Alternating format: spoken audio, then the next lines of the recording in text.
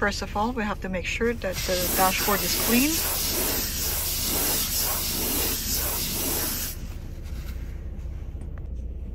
And we will take the plastic off.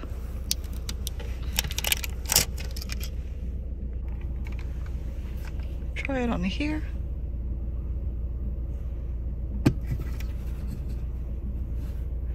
And then lock it.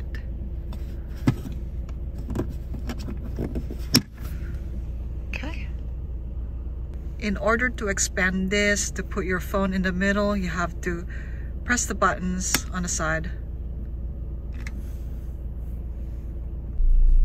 Here's my phone. And then just press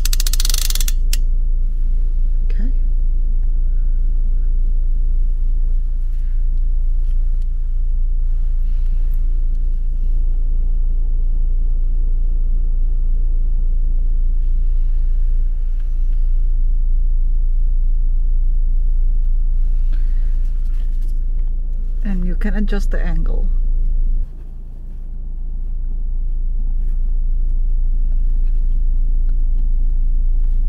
You have to loosen this up to allow it to be adjusted.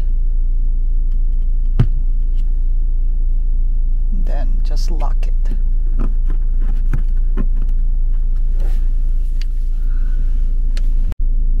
The back too can also be adjusted so you can tilt it and adjust it however you want.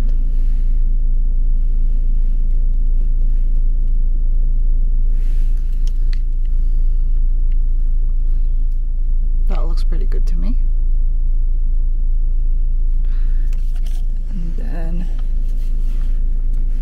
we just lock this